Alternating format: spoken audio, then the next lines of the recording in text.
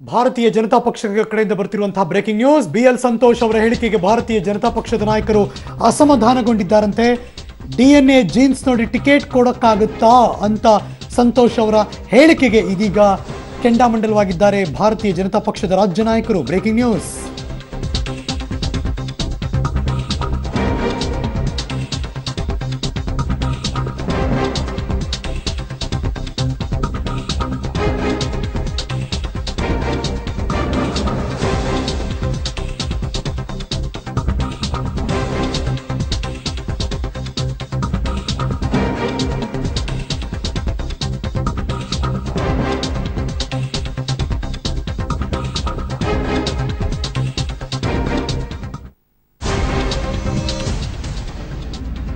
ನೀವು ನೋಡ್ತಿರುವಂತಹ ಬೆಳವಣಿಗೆ ಸಂತೋಷ್ ವಿರುದ್ಧ ಬಿಜೆಪಿ ಹೈಕಮಾಂಡ್ಗೆ ದೂರು ಕೊಡೋದಕ್ಕೆ ನಿರ್ಧಾರ ಮಾಡಲಾಗಿದೆಯಂತೆ ರಾಜ್ಯ ಬಿಜೆಪಿಯಲ್ಲಿ ಕೈ ಹಾಕೋದಕ್ಕೆ ಸಂತೋಷ್ ಯಾರು? ರಾಜ್ಯಾಧ್ಯಕ್ಷರು ಬಿ ಎಸ್ ಯಡಿಯೂರಪ್ಪನವರ ಅಥವಾ ಸಂತೋಷ ಅಂತ ರಾಜ್ಯ ನಾಯಕರಿಗೆ ಪ್ರಶ್ನೆ ಮಾಡ್ತಿದ್ದಾರೆ.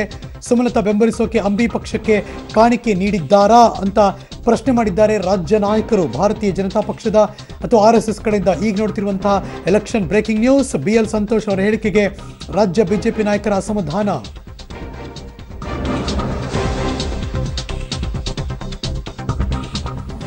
ಬೆಂಗಳೂರು ದಕ್ಷಿಣ ಲೋಕಸಭಾ ಕ್ಷೇತ್ರಕ್ಕೆ ಮಾನ್ಯ ದಿವಂಗತ ಅನಂತಕುಮಾರ್ ಅವರ ಪತ್ನಿ ತೇಜಸ್ವಿನಿ ಅನಂತಕುಮಾರ್ ಅವರ ಹೆಸರು ಇಲ್ಲಿಂದ ಪ್ರಪೋಸ್ ಆಗಿತ್ತು. ಅವರೊಬ್ಬರ ಹೆಸರೇ ಪ್ರಪೋಸ್ ಆಗಿದ್ದುದು ಆದರೆ ಇಲ್ಲಿ ಟಿಕೆಟ್ ಕೊಟ್ಟಿದ್ದು ಮಗದೊಬ್ಬ ಭಾರತೀಯ ಜನತಾ ಪಕ್ಷದ ಅಭ್ಯರ್ಥಿಗೆ. ಇದು ಒಂದು ರೀತಿ ರಾಜ್ಯ ಬಿಜೆಪಿ ನಾಯಕರಿಗೆ ಅಸಮಾಧಾನ ಇತ್ತು. ಆದರೆ ಎಲ್ಲೋ ಒಂದು ಕಡೆ ಬಿ ಎಲ್ ಸಂತೋಷ್ ಅವರ ಹೇಳಿಕೆ ಈಗ ಏನಾಯಿತು? ಡಿ ಎನ್ ಅಥವಾ ಜೀನ್ಸ್ ನೋಡಿ ಟಿಕೆಟ್ ಕೊಡೋಕ್ಕಾಗುತ್ತಾ ಅಂತ ಏನು ಪ್ರಶ್ನೆ ಮಾಡಿದ್ದಾರೆ? ಇದಕ್ಕೆ ಬಿ ಜೆ ಪಿ ರಾಜ್ಯ ನಾಯಕರು ಅಸಮಾಧಾನ ವ್ಯಕ್ತಪಡಿಸಿದ್ದಾರೆ.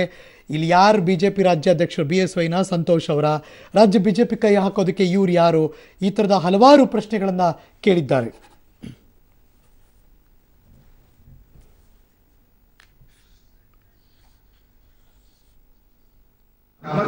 ಅನಂತ್ ಕುಮಾರ್ಗೆ ಏನ್ ಕ್ರೆಡಿಟ್ ಕೊಡಬೇಕು? ಅನಂತ್ ಕುಮಾರ್ ಬಗ್ಗೆ ಸಂಘಟನೆಯಲ್ಲಿ ಏನ್ ಗೌರವ ಇರಬೇಕು?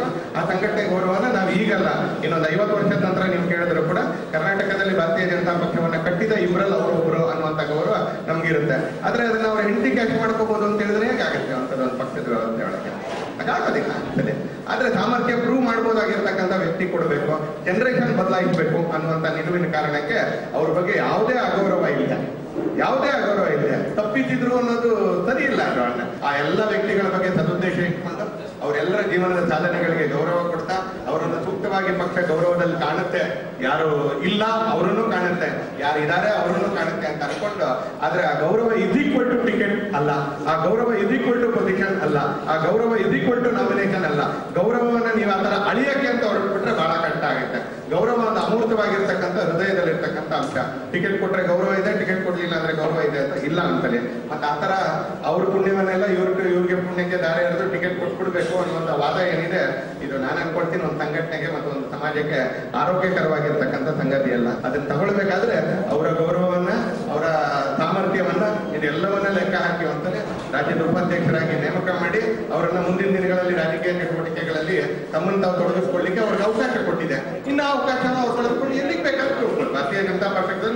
ಅವಕಾಶ ಅನ್ನೋದು ಓಪನ್ ಬೆಳೆಯೋ ಸಾಮರ್ಥ್ಯ ಇರಬೇಕು. ಅವಕಾಶ ಎಲ್ಲ ಬೆಳವಣಿಗೆಗಳ ಬಗ್ಗೆ ಮತ್ತಷ್ಟು ಮಾಹಿತಿ ಕೊಡೋದಕ್ಕೆ ನನ್ನ ಸಹೋದ್ಯೋಗಿ political ಬ್ಯೂರಿಂದ senior special correspondent Badruddin news ಡೆಸ್ಕಿಂದ ನೇರ ಸಂಪರ್ಕದಲ್ಲಿ ಜಾಯಿನ್ ಆಗ್ತಿದ್ದಾರೆ. Very good morning Badruddin. ಗಾಯ ಆಯಿತು. ಆ ಗಾಯಕ್ಕೆ ಮುಲಾಮ ಹಚ್ಚೋಕೆ ಅಂತ ರಾಷ್ಟ್ರೀಯ ಅಧ್ಯಕ್ಷರು ಬಂದು ಬಂದು ಹೋದರು. ಆದರೆ ಮತ್ತೆ ಆ ಗಾಯವನ್ನು ಕೆರೆದು ಕೆರೆದು ಪಕ್ಷಕ್ಕೆ ಇದು ಡ್ಯಾಮೇಜ್ ಆಗ್ತಿದೆಯಾ? ಇದು ಎಲೆಕ್ಷನ್ ಮುಂಬರುವ ದಿವಸದಲ್ಲಿ ಎಷ್ಟು ಮಟ್ಟಿಗೆ ಎಫೆಕ್ಟ್ ಆಗುತ್ತೆ ಬಿ ಜೆ ಪಿಗೆ ಆ ರಾಜ್ಯ ಬಿ ಜೆ ಪಿಯಲ್ಲಿ ಒಂದು ಸ್ಪಷ್ಟವಾದಂಥ ಒಂದು ಗೊಂದಲ ಏನು ಅಂತ ಹೇಳಿದರೆ ತೇಜಸ್ವಿನಿ ಅನಂತಕುಮಾರ್ ಅವರಿಗೆ ಟಿಕೆಟ್ ಕೊಡ ನಿರಾಕರಣೆ ಮಾಡಿದ ಸಂದರ್ಭದಲ್ಲಿ ಉದ್ಭವವಾದ ವಿದ್ಯಮಾನಗಳಿಂದ ಖುದ್ದು ರಾಜ್ಯಾಧ್ಯಕ್ಷ ಯಡಿಯೂರಪ್ಪನವರು ಹೇಳಿರುವ ಮಾತು ಏನು ಅಂತ ಹೇಳಿದರೆ, ರಾಜ್ಯದಲ್ಲಿ ಇಪ್ಪತ್ತೆಂಟು ಲೋಕಸಭಾ ಕ್ಷೇತ್ರಗಳ ಪೈಕಿ ಇಪ್ಪತ್ತಾರು ನಾನು ಹೇಳಿದ್ದನ್ನು ಕೊಡಲಾಗಿದೆ. ಚಿಕ್ಕೋಡಿ ಮತ್ತು ಬೆಂಗಳೂರು ದಕ್ಷಿಣ ಹೊರತುಪಡಿಸಿ ಅನ್ನೋದು. ಅಂದರೆ ಇದೆರಡು ಕೇಂದ್ರ ನಾಯಕರೇ ನಿರ್ಧಾರ ಮಾಡಿದ್ದು ಅಂತ. ಆದರೆ ಒಂದು ಸ್ಪಷ್ಟವಾದಂಥ ವಿಚಾರ ಏನು ಅಂತ ಹೇಳಿದ್ರೆ ತೇಜಸ್ವಿನಿ ಅನಂತಕುಮಾರ್ ಅವರಿಗೆ ಟಿಕೆಟ್ ತಪ್ಪಿಸೋದ್ರಲ್ಲಿ ಸಂತೋಷ್ ಅವರ ಕೈವಾಡ ಇದೆ ಏನು ಅನುಮಾನ ವ್ಯಕ್ತವಾಗ್ತಾ ಇದ್ದ ಕಾರ್ಯಕರ್ತರ ವಲಯದಲ್ಲಿ ಅದಕ್ಕೆ ಇವತ್ತಿನ ಅವರ ಹೇಳಿಕೆ ಪುಷ್ಟಿ ನೀಡುವಂತೆ ಕಾಣ್ತಾ ಇದೆ. ಯಾಕಂತ ಹೇಳಿದ್ರೆ, ಅವರು ನೇರ ನೇರ ಹೇಳಿದ್ದಾರೆ. ಯಾವುದೇ ಕಾರಣಕ್ಕೂ ಅನಂತಕುಮಾರ್ ಅವರ ಕ್ರೆಡಿಟನ್ನು ತೇಜಸ್ವಿನಿ ಅನಂತಕುಮಾರ್ ಅವರು ಪಡೆಯಲಿಕ್ಕೆ ಆಗೋದಿಲ್ಲ ಅವರಿಗೆ ಕೊಡೋದನ್ನು ಅವರಿಗೆ ಕೊಟ್ಟಿದ್ದೀವಿ. ಈಗ ಅವಕಾಶ ಕೊಟ್ಟಿದ್ದೀವಿ. ಅದನ್ನು ಅವ್ರು ಬಳಸ್ಕೊಂಡು ಮಾಡಲಿ ಅನ್ನೋ ಮಾತನ್ನು ಹೇಳಿದ್ದಾರೆ. ಅಂದರೆ ಅನಂತಕುಮಾರ್ ಅವರ ಕ್ರೆಡಿಟನ್ನು ಜೀನ್ಸ್ ಡಿ ಎನ್ ಎನ ಇವರಿಗೆ ಪಾಸ್ ಮಾಡೋಕ್ಕೆ ಆಗೋದಿಲ್ಲ ಅನ್ನೋ ಮಾತನ್ನು ಹೇಳಿದ್ದಾರೆ. ಆದರೆ ಇದು ಸ್ಪಷ್ಟವಾಗಿ ಬಿ ಜೆ ಪಿಯ ಇಬ್ಬಗೆ ನೀತಿ ದ್ವಂದ್ವವನ್ನು ಎತ್ತಿ ತೋರಿಸುತ್ತೆ. ಹರೀಶ್ ಯಾಕೆಂತ ಹೇಳಿದ್ರೆ ಆ ಥರ ಏನು ಇನ್ನಿತರರಿಗೆ ಆ ಥರ ಟಿಕೆಟ್ ಅಂದರೆ ಕುಟುಂಬಸ್ಥರಿಗೆ ಟಿಕೆಟ್ ಕೊಡೋದಿರುವಂಥ ಉದಾಹರಣೆಗಳು ಏನಿಲ್ಲ.